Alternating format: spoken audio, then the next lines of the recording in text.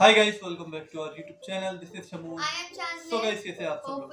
तो गाइस आज की वीडियो का टाइटल है Imran Khan is back soon stronger and harder तो ये है इसका टाइटल आवाज़ मेरी थोड़ी बैठ गई भाई चला लेना। तो देखते देखते हैं कैसी हैं वीडियो वीडियो है। अभी इमरान खान के ऊपर क्या मेजर गौर फारिया की लेटेस्ट वीडियो आई है। पिछली वीडियो हमने देखी थी काफ़ी ज़्यादा इंफॉर्मेटिव तो गाइस वीडियो स्टार्ट करते हैं।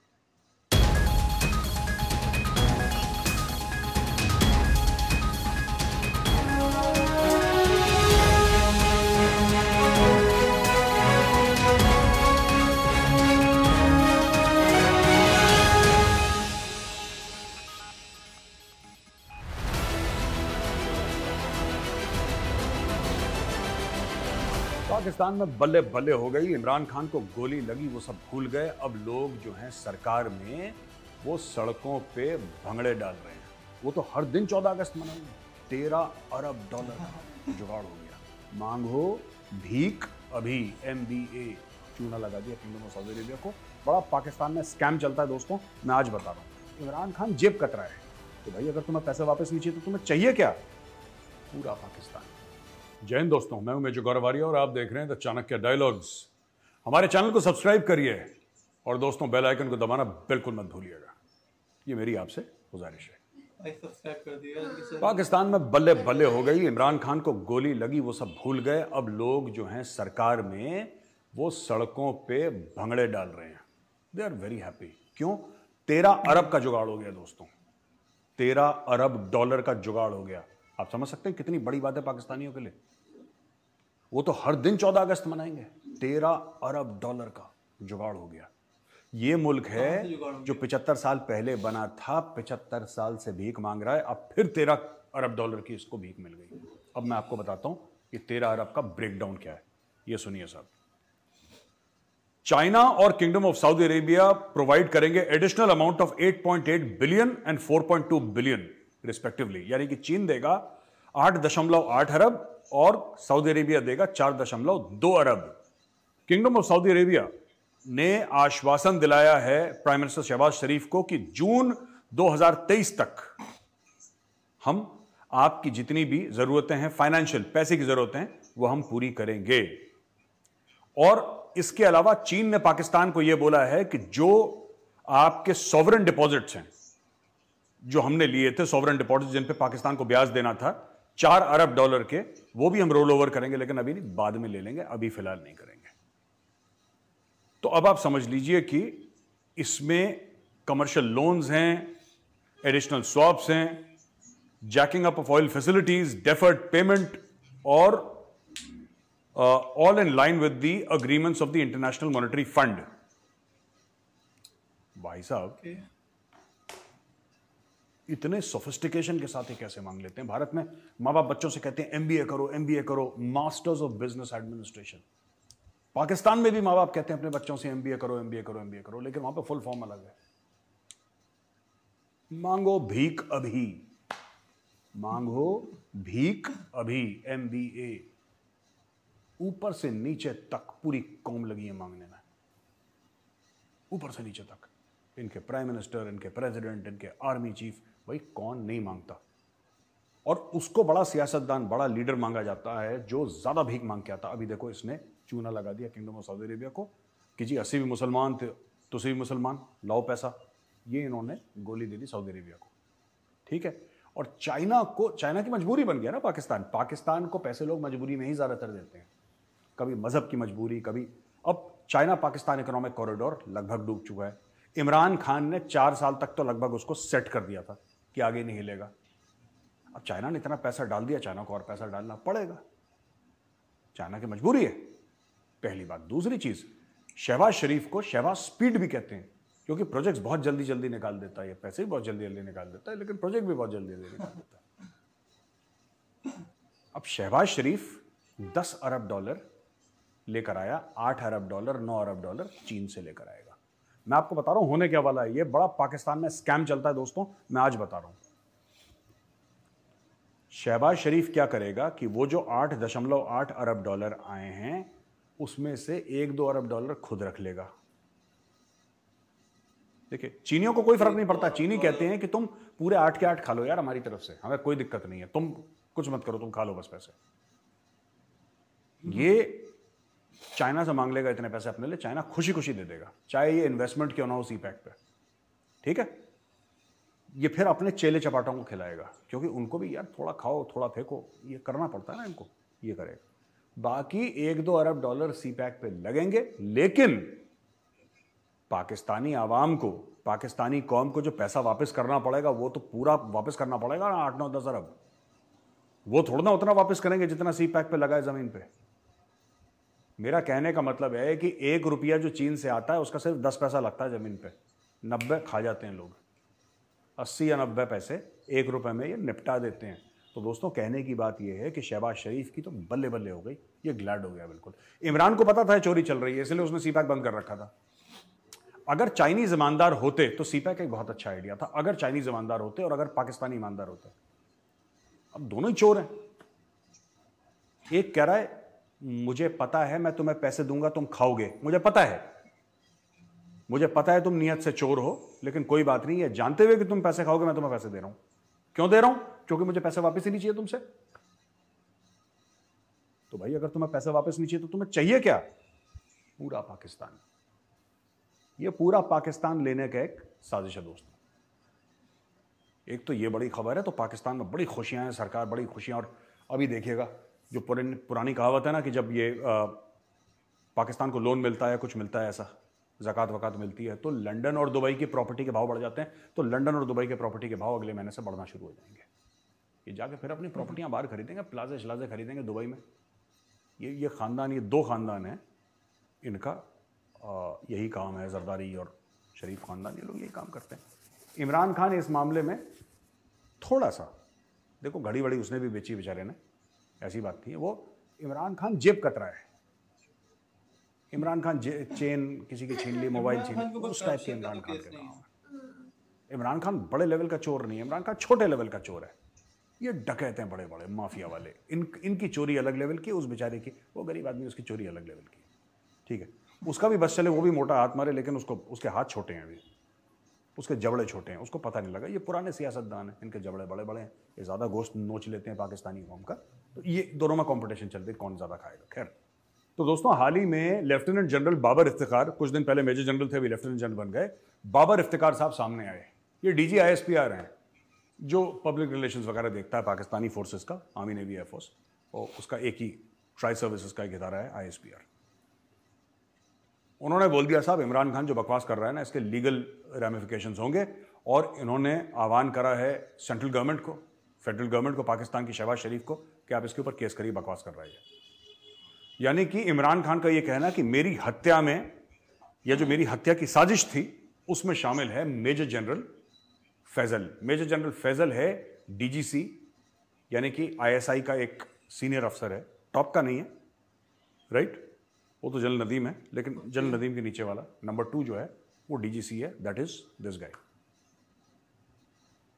अब बोला कि ये जो मेजर जनरल फैजल है इसने मुझे हत्या करने का प्लान बनाया था। शहबाज शरीफ तो था ही उसमें राणा सनाउल्ला तो था ही उसमें लेकिन ये भी था।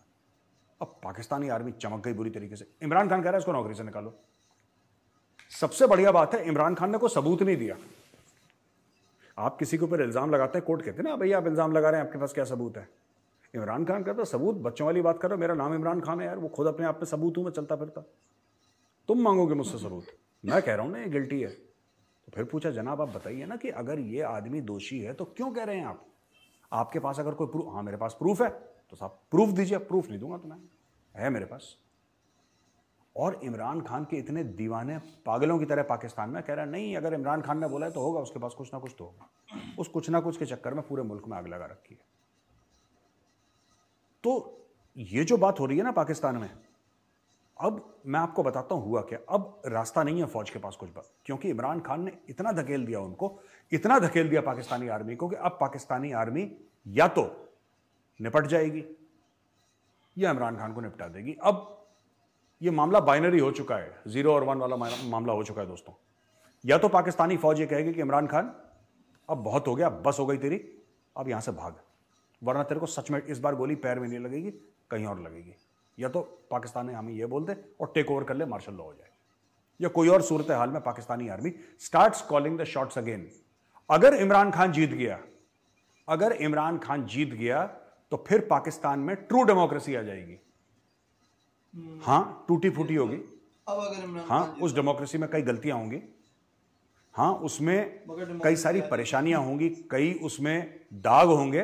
लेकिन होगी वो डेमोक्रेसी, यानी कि उसमें फौजी जर्नलों की दखलंदाजी नहीं होगी, इतना तो खान इंश्योर करेगा।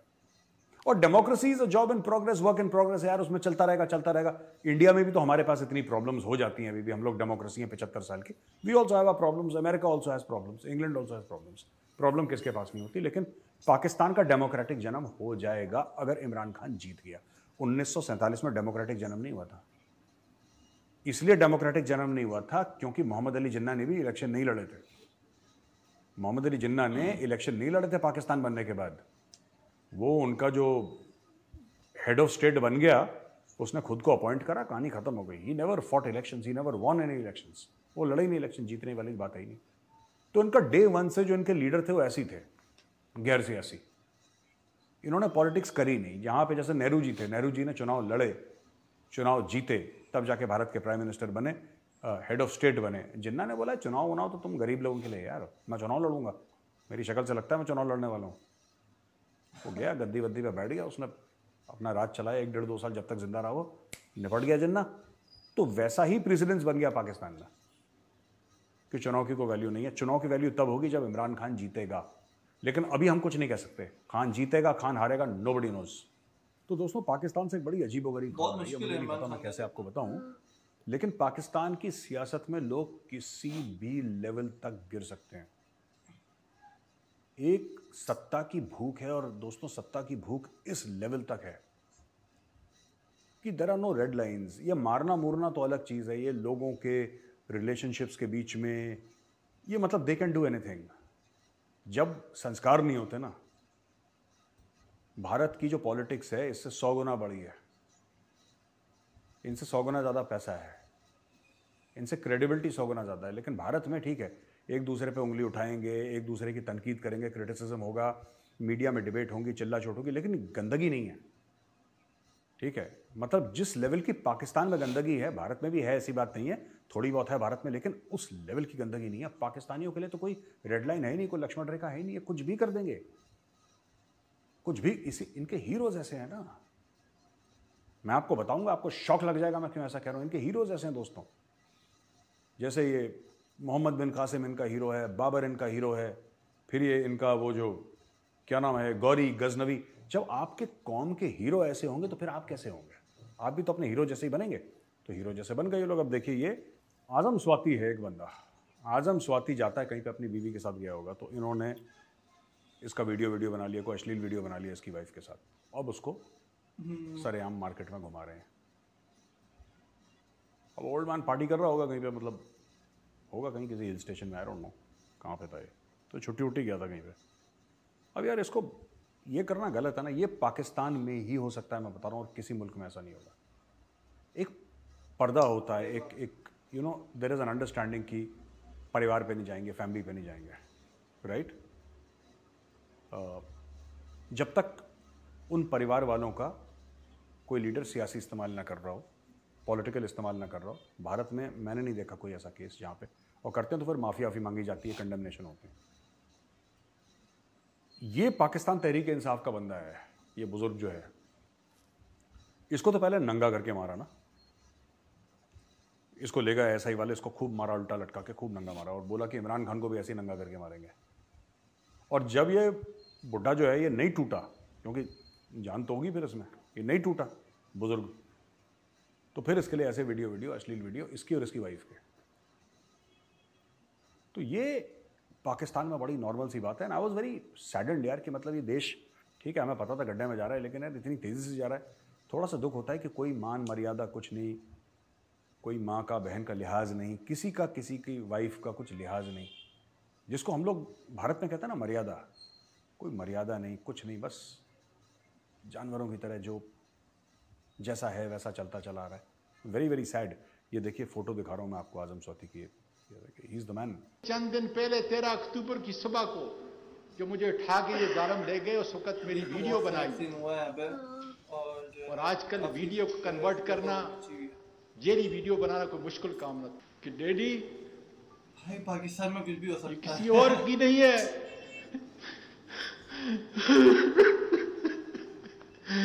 ये तुम्हारी और मेरी मामा की है। एफ़ ने बोला कि डीप फेक है और वगैरह है, वो कवर अप करने के लिए जो बोला होगा। फैक्ट ऑफ़ द मैटर अगर डीप फेक भी है, यार फिर भी गलत है यार, नहीं करना चाहिए ऐसा। ये नहीं करना चाहिए। पूरे ही अगर तुम गजनवी और गौरी बन जाओगे तो फिर इंसान नहीं रहोगे ना यार। या तो तुम गौरी गजनवी बन जाओ, फिर तुम इंसान कहाँ रहोगे? फिर इंसानियत कहाँ रह गई तुमने फिर तो जानवर बन गए, गौरी गजनवी तो जानवर ही थे। राइट ये बाबर चावर जो आए थे बाहर से तो देवर एनिमल्स यार। तो फिर तुम वैसे ही बन जाओगे जैसे तुम्हारे हीरोज हैं। अब देखिए, मैं आपको एक और स्टोरी सुनाता हूँ पाकिस्तान की। आपको पता है कि हमने पहले कवर करा था खबर आई थी ना, जब हमने बोला था कि मच्छरदानियाँ भारत भेजेगा, किसी और एजेंसी को भेजेगा, वो लोग फिर पाकिस्तान भेजेंगे तो पाकिस्तानियों ने मुँह सुझा लिया अपना। राइट पाकिस्तानियों ने मुँह सुझा लिया। पाकिस्तानियों ने बोला कि नहीं यार, ऐसा कैसे और हम भारत से क्यों लेंगे और ये सब? हम भी मच्छरदानी बना सकते हैं। देखो, कहीं ना कहीं दिल में प्राइड है अपने मुल्क के लिए कि हम मच्छरदानी, हम कुछ और किसी लायक हो ना हो, हम जांगिया, बनियान, तौलिया, मच्छरदानी, ये तो बना ही सकते हैं। तो ये काफ़ी पाकिस्तानियों को ईगो पे लग गया कि क्या हमारी मच्छरदानियाँ तक भारत से आएँगी। अरे, इसमें दिल पे क्या लेना यार? तुम्हारी मच्छरदानियाँ भारत से आएँगी तो। जो तुम सरदर्द की दवाई खाते हो वो भारत से आती है। जो रेबीज़ की दवाई या कुत्ता काटने की सांप काटने की वो सारी की सारी तो भारत से आती हैं। तो इतना इमोशनल क्यों हो रहे हो? और अगर मच्छरदानी भारत से आ गई भारत से डायरेक्टली तो आ नहीं रही। भारत किसी और को देगा बाहर से डोनर एजेंसी तुम्हें देगी। डोनेशन तुम्हें लेना है। भारत से लो किसी से लो हमें क्या फ़र्क पड़ता है? ठीक है तुम्हारी मर्ज़ी है यार। अगर तुम्हें लगता है कि पाकिस्तान की मच्छरदानी तुम्हें इस्तेमाल करनी तो मना कर दो डोनर एजेंसी मोदी जी तो नहीं गए ना पाकिस्तान? कि नहीं हमसे ही लो आप। मोदी जी तो नहीं गए। He has not gone to you आप ही लोगों ने मांगा था। तब वो डोनर एजेंसी ने बोला कि हम देंगे। अब डोनर एजेंसी को जहाँ से ठीक लगा, उसने वहाँ से सोर्स करा। उसको लगा, भारत ठीक है। भारत पे अच्छी क्वालिटी लो कॉस्ट में मिल रही है। उसने ले लिया। पर पाकिस्तानी कह रहे, नहीं है। हमारे मच्छर अलग हैं। भारत की मच्छरदानी फाड़ के आगे बढ़ जाएँगे बिल्कुल जिहाद करने के लिए। जिहाद फ़ी सभी अल्लाह सारे के सारे मच्छर अटैक कर देंगे मच्छरदानी हम भारत से मच्छरदानी लेंगे। तुम्हारी मर्ज़ी। It's up to you Pakistani leader Hammad Azhar ने यह बोला है कि दो तीन दिन के अंदर खान फिट हो जाएगा। और फिर से लॉन्ग मार्च शुरू हो जाएगा दोस्तों। हम्माद अजहर का ये बयान है कि फिट हो जाएगा इमरान खान दो तीन दिन में मतलब इस लायक हो जाएगा कि खड़ा खड़ा हो सके और उसके बाद इमरान खान अटैक पे दोबारा चला जाएगा। पूरे पाकिस्तान में अराजकता का माहौल है, जैसे मैंने कल की वीडियो में आपको बताया था सिविल वॉर की स्थिति पाकिस्तान में है। इंटरनेट से लेकर मीडिया से लेकर यू नो पेमरा ने, उनकी एक ऑर्गेनाइजेशन है पेमरा जो इलेक्ट्रॉनिक रेगुलेशन अथॉरिटी टाइप की है उनकी, जो टीवी चैनल्स को कंट्रोल करती है। उसने बोला कि खान की कोई भी स्पीच आप नहीं दिखाएँगे टेलीविज़न पे। फिर फेडरल गवर्नमेंट ने शहबाज शरीफ बोला नहीं नहीं नहीं दिखाने दो कोई बात नहीं। हम लोग अच्छे लोग हैं और हम लोग किसी को रोकते नहीं हैं और अभिव्यक्ति की पूरी आज़ादी ये सब ड्रामा जो पाकिस्तान में खुद ही बोला होगा खुद ही फिर छोड़ दिया इसने। अच्छा बनने के लिए राइट ये तो तो ये सब पाकिस्तान में दोस्तों अभी तक हो चुका है। लेकिन सबसे बड़ी बात यह है कि इमरान खान फिर सड़क पे आएगा और इस बार जो लड़ाई इमरान खान करने का इरादा रखता है वो आर पार की लड़ाई लड़ने का इरादा रखता है। वो लड़ेगा आर पार की लड़ाई। वो चाहता है कि मैं ही खुदा बन जाऊँ पाकिस्तान का और कोई खुदा ना रहे। इतना कोई डेमोक्रेसी से लेना देना नहीं है इमरान खान की लड़ाई का। राइट इमरान खान डेमोक्रेसी को इसलिए पसंद करता है क्योंकि वो नेता है। अगर वही इमरान खान वर्दी पहनता ना फौज की तो ये मार्शल लॉ लगा चुका होता। ये तो इसके हाथ में टैंक नहीं वरना टैंक चढ़ा चुका होता। पाकिस्तान में, देखिए मैं आपको बताता हूँ ना, पाकिस्तान में कभी कोई जमहूरियत रही नहीं। कोई लोकतंत्र वाली सरकार रही नहीं पाकिस्तान में। पाकिस्तान में सिर्फ़ एक किस्म की सरकार रहती है डिक्टेटरशिप कभी वो डिक्टेटर खाकी कपड़े पहनता है फौज के, कभी वो सिविल कपड़े पहनता है पैंट शर्ट पहनता है कोट टाई पहनता है या फिर सलवार कमीज पहनता है। दिल से वो डिक्टेटर ही है। इमरान खान, शहबाज शरीफ, नवाज़ शरीफ, आसिफ अली जरदारी, आप नाम ले लीजिए बाजवा का, आप नाम ले लीजिए परवेज मुशर्रफ का, ये सब दिल के डिक्टेटर ही हैं। कोई आगे से डिक्टेटर है, कोई अंदर से डिक्टेटर है डिक्टेटर सब हैं। तो ये लॉन्ग मार्च इमरान खान का फिर से शुरू होना है। देखते रहिएगा, मैं आपको कोशिश करूँगा, दोस्तों, मेरी कोशिश रहेगी कि जल्दी जल्दी आपके पास वीडियोस लाऊं और इस पूरी जगह में क्या हो रहा है, इसके बारे में बताऊँ आपको और आपको अप टू डेट रखूँ। और सिर्फ़ खबर नहीं देना, इसके पीछे एनालिसिस क्या है, दिमाग क्या है, क्योंकि मैं रोज़ अपने पाकिस्तानी दोस्तों से बात करता हूँ जो वहाँ पे हैं। बहुत सारे लोग कोई कोई रियल एस्टेट में भी है, कोई मीडिया में भी हैं जर्नलिस्ट वगैरह सबसे मेरी बात चलती रहती है तो उनसे जब बात चलती है तो वो लोग बताते हैं अपने व्यूज़ फिर मैं न्यूज़ पढ़ता हूँ फिर उनके व्यूज़ को अ, एक एक एक उसका निचोड़ निकलता है कि क्या हो रहा होगा एक एस्टिमेट निकलता है फिर मैं आपके साथ शेयर करता हूँ। और मेरे साथ बने रहने के लिए बहुत बहुत धन्यवाद आपका। इस वीडियो को लाइक करिए हमारे चैनल को सब्सक्राइब करिए बेल आइकन दबाना बिल्कुल मत भूलिएगा दोस्तों। जय हिंद। ये थी वीडियो और मैं फिर से स्टार्ट होने वाला है लॉन्ग मार्च और अब देखे किस करवट जो है जाता है। पंजाब वाली साइड पंजाब के पीके वाली साइड तो मेरे ख्याल से लोग अभी भी जो है ये सिंध में तो खैर इतना नहीं होता क्योंकि कैपिटल उधर है इस्लामाबाद में पंजाब में। उधर सारे जो है ज़्यादातर हंगामे वगैरह होते हैं। तो उधर जो है चल रहा है भाई अभी देखते हैं दोबारा से जो है इमरान खान ने दो तीन दिन में स्टार्ट जुमेरात को जो है दोबारा करने का बोल दिया। है तो फिर ये दोबारा स्टार्ट होगा और कहानी किस साइड जाती है किस रूप जाती है। है। सिविल वॉर की तरफ़ भी जा सकती है कहानी। ऐसा अल्लाह ना करे कि हो मगर ऐसा हो सकता है जिस तरीके की हालत पाकिस्तान में बने हुए हैं। और देखते हैं भाई क्या होता है बाकी इन्फॉर्मेशन इन्होंने काफ़ी ज़्यादा हाँ, रखी हुई है पाकिस्तान की। पाकिस्तान की इन्फॉर्मेशन इनको होती है हमेशा हर हाँ, बार और सुनने में मज़ा भी आता है कि इतनी इनको मतलब पाकिस्तान का पाकिस्तान के ऊपर बंदे की कड़ी नज़र होती है। कड़ी नज़र सही कर वो होती है नज़र मतलब- सब कुछ सच बताते हैं। बिल्कुल एक जो सिचुएशन पाकिस्तान में चल रही है बिल्कुल वही सिचुएशन है। पता है ऐसा नहीं कि बिल्कुल। बिल्कुल जो है आगे पीछे जो है थोड़ा बहुत है। और बाकी देखते भाई अब क्या पाकिस्तान की सिचुएशन बनती है। इमरान खान ने दोबारा स्टार्ट कर दिया है और अभी जो सिचुएशन इन्होंने बताई ये सारे सीन हुआ है। आज़म सवादी के साथ हुआ है और जो पीटीआई का वो है पार्लियामेंट का मेंबर है। और इनके साथ क्या हुआ है जो वो कोई इनकी वीडियो वीडियो बना के जो है ब्लैकमेल वगैरह करा है। अच्छा। जो है ये कर देंगे वो कर देंगे। इसको पहले ले आके जो है मारा भी था। नंगा करके तो ये सारे सीन चल रहे हैं देखते भाई क्या होता है। पाकिस्तान की पॉलिटिक्स किस तरफ़ किस रुख जाके बैठती है। और देखेंगे अभी और भी इनकी वीडियोस इन्होंने बोला आएँगी तो हम लोग देखेंगे ऊपर वेट रिएक्ट करेंगे। हैं। तो सो गाइस सभी के लिए यही मिलते हैं नेक्स्ट वीडियो में। Bye bye